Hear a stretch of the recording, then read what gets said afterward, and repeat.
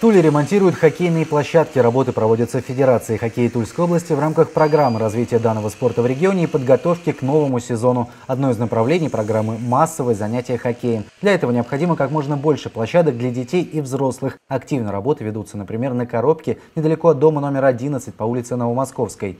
У нас в текущем году ремонт шести кортов. В основном это работы по ремонту ограждений безопасности, установке новых ограждений – установки светильников уличного освещения для работы площадки в темное время суток и э, работа по ремонту калинок. Также планируется установка четырех вагончиков для хранения инвентаря и заливочного оборудования. Сроки примерно где-то 10 э, мы должны закончить, то есть первая декада сентября. Вот. Ну, как бы все пока идет в обычном рабочем режиме, мы успеваем. Площадка на улице Новомосковской, не исключено, станет началом пути для юных хоккеистов большой хоккей. Тем более путь до него, в переносном смысле, конечно, не так уж и долг. Всего в 500 метрах находится новый Ледовый дворец. Эта площадка у нас и так востребована. Здесь очень много пятиэтажных домов на улице Кауля, улица Новомосковская.